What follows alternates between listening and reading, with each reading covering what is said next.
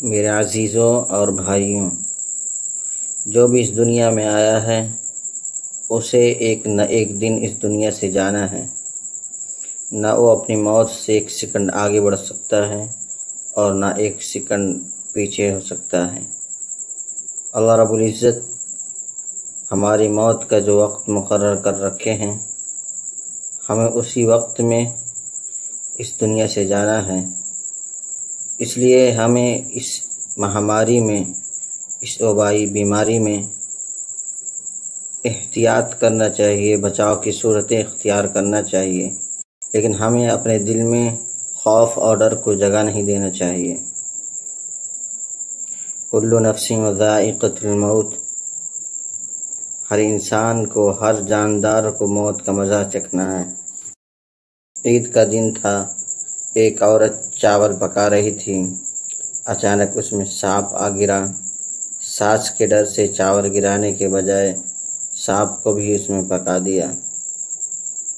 सबने बहुत तारीफ़ की कि बेहतरीन चावल पकाए। बहुत मज़ा आया। साल गुज़रा, एक और मौके पर चावल पकाए। सबने एक ही बात की कि पिछली ईद पर जो चावल पके थे कमाल का जायका था। औरत रास का बोझ कब तक उठाए फिरती, सो बता ही दिया कि उसमें सांप गिरा था, जिसे मैंने उसमें पका दिया था। ये सुनना था कि सब घर वाले बेहोश हो गए। एक को दिल का दौरा पड़ा और वहीं मर गया। मेरे अजीज़ों, अब ये असर सांप के जहर का था। या सांप के खौफ का। आगे चलें। अमेरिका में मौत के सज़ा याफ्ता एक कैदी पर एक अजीब तजर्बा किया गया। उसे बताया गया कि आपको ना फांसी दी जाएगी, न गोली मारी जाएगी, ना ही जहर का इंजेक्शन, बल्कि सांप से डसवाया जाएगा। उसके ख्यालात पर सांप छा गया, फिर सांप उसके सामने लाया गया। उसे यकीन हो गया कि इस सांप ने मुझे डसना है। फिर उसकी आँखों पर एक पट्टी बांधी गई और दो सुइयाँ उसे चुभोया गया, जिससे उसे पक्का यकीन हो गया कि सांप ने डस लिया है। थोड़ी देर के बाद उसकी मौत वाक़ हो गई। उसके खून के टेस्ट हुए तो खून में सांप का जहर मौजूद था।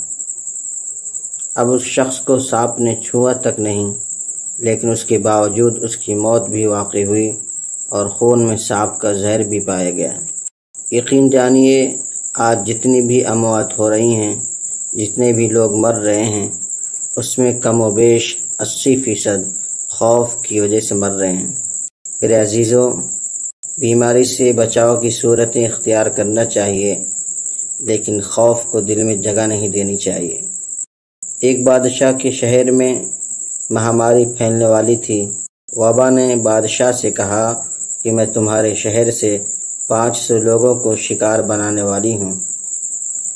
बादशाह ने शहर में ऐलान करवा दिया कि हमारे ऊपर एक वबा यानी महामारी आने वाली है, जिसकी जद में आकर पाँच सौ लोग मरने वाले हैं।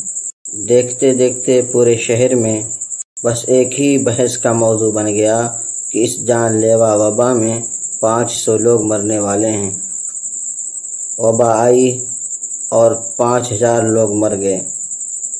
बादशाह ने वबा से पूछा कि तुम तो पाँच सौ लोगों को मारने वाली थी, लेकिन तुमने मेरे पाँच हज़ार रियाया की जान ले ली।